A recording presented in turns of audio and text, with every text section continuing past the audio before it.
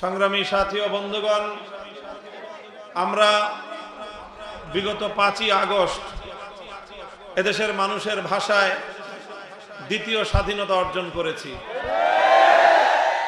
এই স্বাধীনতা অর্জন করতে এদেশের মানুষকে অনেক ত্যাগ আর কোরবানি স্বীকার করতে হয়েছে। অনেক জুলুম নির্যাতন সহ্য করতে হয়েছে। অনেক মানুষকে বছরের পর বছর কারারুদ্ধ থাকতে হয়েছে। অনেক মা তার সন্তানকে হারিয়েছে। আমাদের বহু ভাই গুম আর খুনের শিকার হয়েছে। একমাত্র বাংলাদেশের ইতিহাসের জঘন্যতম স্বৈরাচারী সরকার শেখ হাসিনা, যার একজনের আমলে অনেকগুলো গণহত্যা সংগঠিত হয়েছে বাংলাদেশে।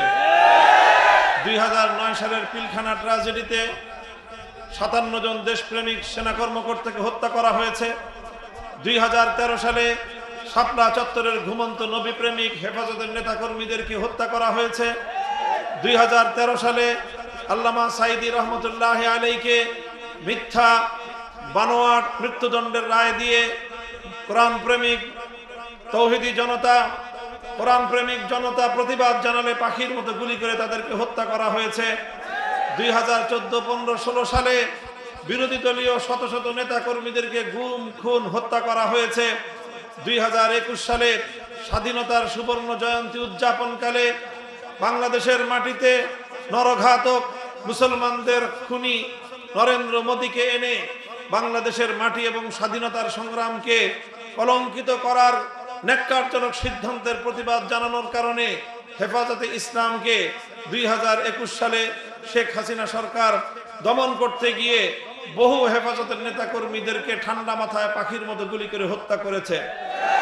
সর্বশেষ দুই হাজার চব্বিশ সালে জুলাই এবং আগস্ট মাস জুড়ে বাংলাদেশের ছাত্র জনতার অভূতপূর্ব গণ আন্দোলন বৈষম্য বিরোধী আন্দোলনকে দমন করতে গিয়ে শেখ হাসিনা, তার খুনি ছাত্রলীগ, যুবলীগ হাতুড়ি লীগ হেলমেট লীগ, সমস্ত সমস্ত সন্ত্রাসীদেরকে এদেশের ছাত্র জনতার বিরুদ্ধে লেলিয়ে দিয়ে এবং তার বিভিন্ন আইন শৃঙ্খলা রক্ষাকারী বাহিনীকে দলীয়করণের মাধ্যমে সেখানে লিগারদেরকে নিয়োগ করে হেলিকপ্টার থেকে এমনকি বিভিন্নভাবে গুলি করে করে বাংলাদেশের প্রায় দেড় হাজার দেড় হাজার স্বাধীনতাকামী বাংলাদেশের তরুণ যুবকদেরকে হত্যা করা হয়েছে।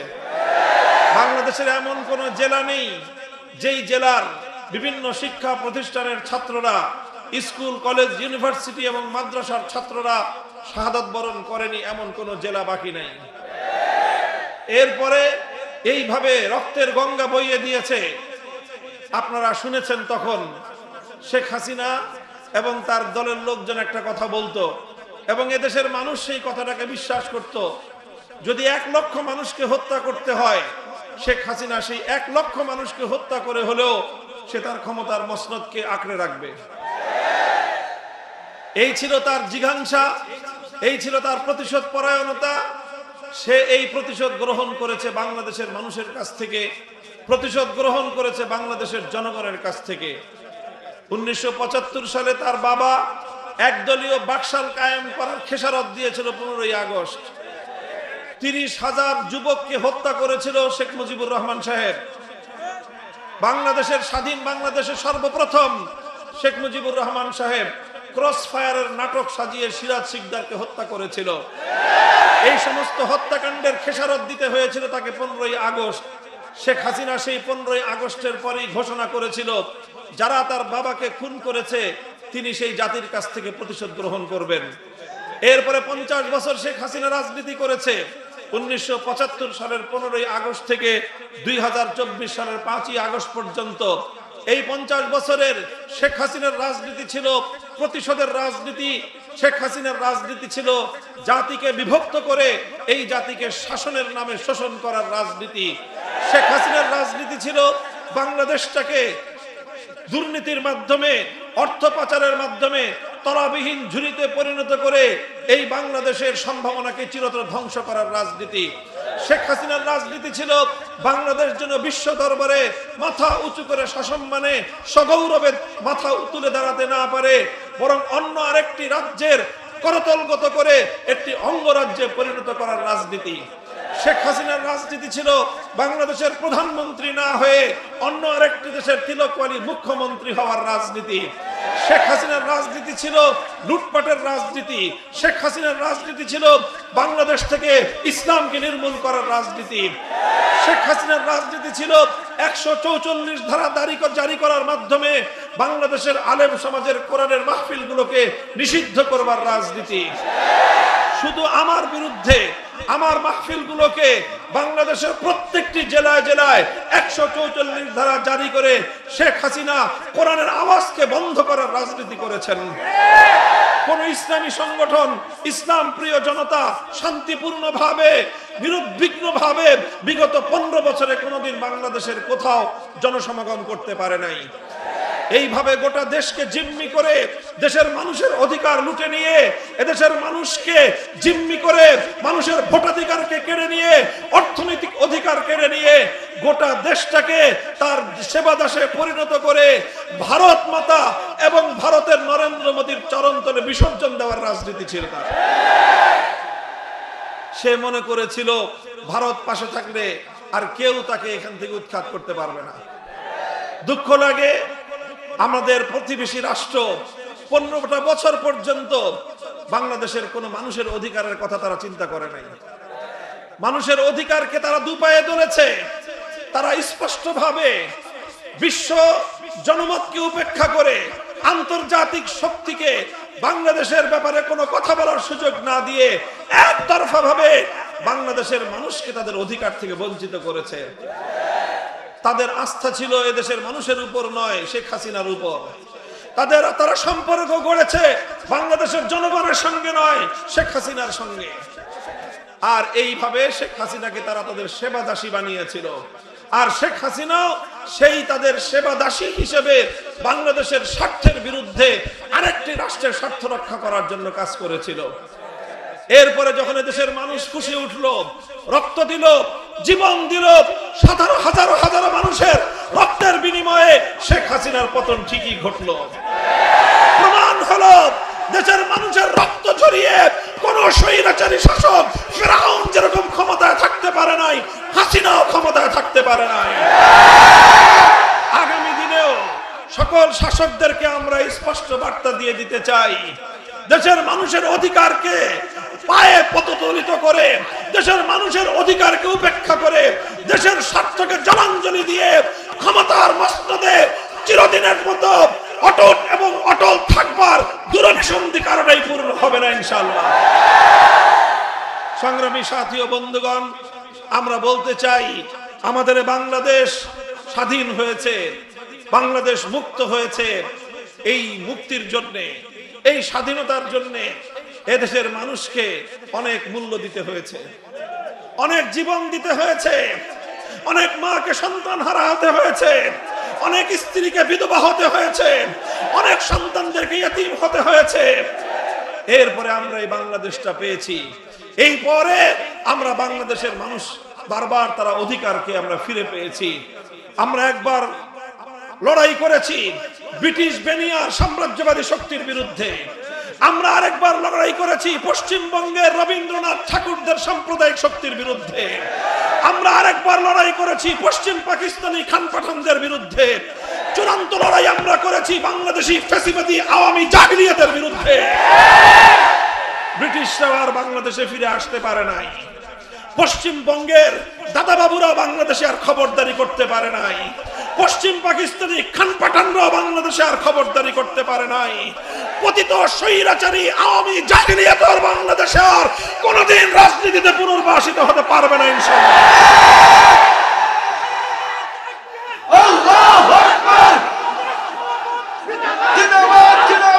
সংগ্রামী সাথী ও বন্ধুগণ, আমি অন্তর্বর্তীকালীন সরকারকে এবং সরকারের উপদেষ্টাদেরকে, আমি অত্যন্ত বিনয়ের সাথে সতর্ক করতে চাই। কোনোভাবে, কোন অজুহাতে, কোন কৌশলে পতিত ফেসিবাদকে, স্বৈরাচারী শেখ হাসিনা এবং তার দশকদেরকে বাংলাদেশের রাষ্ট্রে পুনর্বাসিত করবার কোন উদ্যোগে দেশের মানুষ মানবে না। বাংলাদেশের স্বাধীনতা অর্জিত হয়েছিল ইনশাআল্লাহ বলার মধ্য দিয়ে। ইনশাআল্লাহ মানে হলো আল্লাহর উপর, মহান আল্লাহ রব্বুল আলমিনের উপর অবিচল আস্থা এবং বিশ্বাসের মধ্য দিয়ে শুরু হয়েছিল বাংলাদেশের স্বাধীনতার সংগ্রাম। বাংলাদেশের স্বাধীনতার সময়ে জাতির সঙ্গে কমিটমেন্ট করা হয়েছিল। অঙ্গীকার করা হয়েছিল। বাংলাদেশে কোনোদিনও কোরআন সুন্না বিরোধী কোনো আইন তৈরি করা হবে না। পরিষ্কার কথা, আজও বাংলাদেশের মানুষের কাছে এই দুই কথার ব্যাপারে কোনো আপোষ নাই। এদেশে আল্লাহর উপর অবিচল এবং আস্থা বিশ্বাস, এটাই হবে এই জাতি এবং রাষ্ট্রের প্রধান বুনিয়াদ।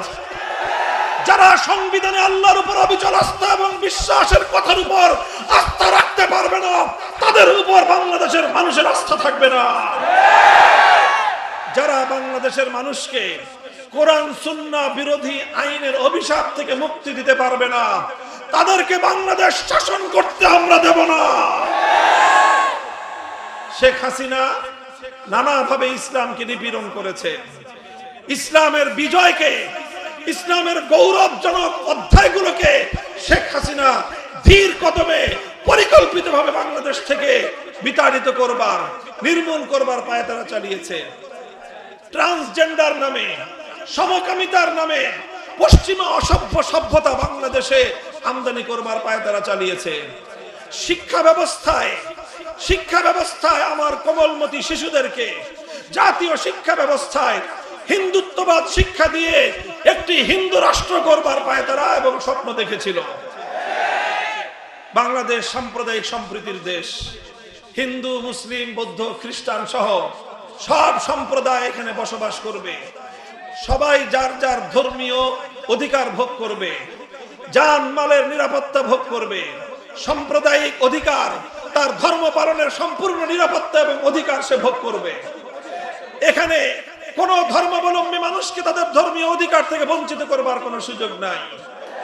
আপনারা লক্ষ্য করেছেন, আওয়ামী লীগ এবং শেখ হাসিনার অন্যতম একটা রাজনৈতিক কৌশল ছিল সংখ্যালঘু নির্যাতন ইস্যু। এখন শেখ হাসিনাও নাই বাংলাদেশে, সংখ্যালঘুদের উপর নির্যাতনও নাই। কারণটা কি? আসলে শেখ হাসিনার কৌশল ছিল রাতের অন্ধকারে কালনাগিনী হয়ে সংখ্যালঘুদেরকে ছবল মারো দিনের আলোতে ওঝা হয়ে ঝাড়তে আসো। সমস্ত সংখ্যালঘু নির্যাতনের পিছনে শেখ হাসিনার দোসর আওয়ামী সন্ত্রাসীদের হাত ছিল। ওরাই আবার মিডিয়াতে মায়া কান্না কাঁদত। এখন শেখ হাসিনাও নাই সংখ্যালঘুর নির্যাতনও নাই। ওরা যদি আবার বাংলাদেশে অনুপ্রবেশ করতে পারে, আবার সংখ্যালঘু নির্যাতনের নাটক সাজাবে। দেশবাসীকে আমি সতর্ক এবং সজাগ থাকতে চাই। আর কেউ যেন সংখ্যালঘুদের অধিকার নিয়ে ছিনিমিনি খেলতে না পারে। সংখ্যালঘুরা অধিকার ভোগ করবে। এদেশের নব্বই ভাগ মুসলমানদের ইসলামী জাতিসত্তা, মুসলিম জাতিসত্তা, এটাও বাংলাদেশে টিকে থাকবে। মুসলিম জাতিসত্তার চেতনার ভিত্তিতে উনিশশো সাতচল্লিশ সালে পশ্চিমবঙ্গকে আমরা সালাম জানিয়েছিলাম। আর একাত্তর সালেও আমরা পশ্চিম পাকিস্তানিদেরকে সালাম জানিয়েছিলাম। আখেরি পয়গাম আমার। সুতরাং এদেশের হাজার বছরের ঐতিহ্য এবং ইতিহাসের সাথে ইসলাম এবং ইসলামী সভ্যতা ওতপ্রোতভাবে জড়িয়ে আছে। অন্তর্বর্তীকালীন সরকার এবং এই সরকারের অন্তর্ভুক্ত, বিশেষ করে এনজিও উপদেষ্টাদেরকে আমি বিশেষভাবে তাদের প্রতি সতর্ক, সজাগ দৃষ্টি রাখার জন্য ছাত্র জনতাকে উদাত্ত আহ্বান জানাই। ছাত্ররা বিপ্লব করেছে কিন্তু ছাত্রদের এই বিপ্লবকে এনজিওদের কিছু চিহ্নিত ইসলাম বিদ্বেষী পশ্চিমাদের সেবা দাস তারা এই বিপ্লবকে চিন্তাই করার পায়ে তারা চালাচ্ছে। দুটি ইস্যুর ব্যাপারে খুব হুঁশিয়ারি উচ্চারণ করতে চাই। প্রথম হলো, শিক্ষা ব্যবস্থার মধ্যে ইসলামকে নির্মূল করার ফ্যাসিবাদী, স্বৈরাচারী শেখ হাসিনার এজেন্ডা বাংলাদেশে আর চলতে পারবে না। সুতরাং ডক্টর ইউনুস সাহেব, যেই শিক্ষা কমিশন করেছেন, তাড়াতাড়ি ওটাকে বানচাল বাতিল করে, নতুন করে আবার শিক্ষা কমিশন গঠন করুন। এদেশের তৌহিদি জনতা, হেফাজতে ইসলাম সহ এদেশের সমস্ত ইসলামী সংগঠনগুলো আপনার গঠিত শিক্ষা কমিশনকে প্রত্যাখ্যান করেছে। এখানে সমকামীদেরকে আপনি দিয়ে সমকামীদেরকে দিয়ে শিক্ষা কমিশন গঠন করা হয়েছে। ওই শিক্ষা কমিশনের বিরুদ্ধে আমরা দুর্বার আন্দোলনের ঘোষণা দিচ্ছি। যদি শিক্ষা কমিশন বাতিল করে, আলেম এবং ইসলামী শিক্ষাবিদদের অন্তর্ভুক্ত করে, সর্বজন গ্রাহ্য শিক্ষা কমিশন যদি গঠন করতে আপনারা ব্যর্থ হন, রাজপথে আপনাদেরকে মোকাবেলা করব আমরা। দ্বিতীয় হলো মানবতা বিরোধী আইনের মধ্যে নানা ধরনের ভয়াবহ, অশ্লীল এবং বেহায়াপনা, জেনা, ব্যবিচার সমকামিতাকে বাংলাদেশে আমদানি করবার কিছু ধারা অন্তর্ভুক্ত করা হচ্ছে।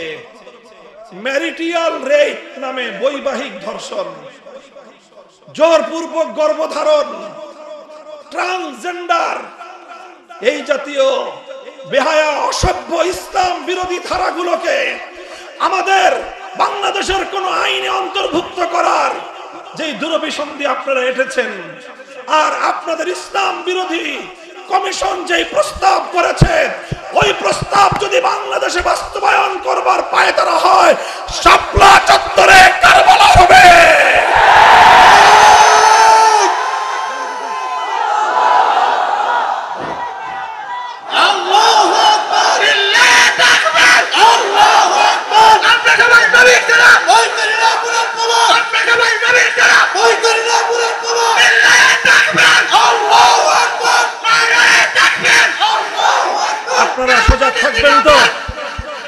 আপনারা সকলে সজাগ থাকবেন তো ইনশাল্লাহ ইনশাল্লাহ বাংলাদেশের প্রতিটি জেলায় জেলায়, থানায় থানায়, উপজেলায়, ইউনিয়ন এবং ওয়ার্ড পর্যায় পর্যন্ত আপনারা খেলাফতের সৈনিক গড়ে তুলুন। ইনশাল্লাহ আল্লাহর জমিনে আল্লাহর খেলাফত কায়েম করার মধ্য দিয়ে আমাদের সংগ্রাম মঞ্জিল পর্যন্ত পৌঁছবে। আল্লাহর জমিনে মানব রচিত তন্ত্রমন্ত্র দিয়ে মানুষের অধিকার কায়েম হওয়া সম্ভব নয়। আমরা এখন ইসলাম বিরোধী সকল অপতৎপরতাকে মোকাবেলা করতেছি। অচিরেই আমাদের আন্দোলন শুরু হবে। শুধু ইসলাম বিরোধী অপতৎপরতা মোকাবেলা নয়, পূর্ণাঙ্গ ইসলাম এবং শরিয়া ভিত্তিক রাষ্ট্র ব্যবস্থা কায়েম করার আন্দোলন। সে আন্দোলনের সঙ্গে থাকবেন তো ইনশাল্লাহ আল্লাহ পাক আপনাদের সকলকে কবুল করুন।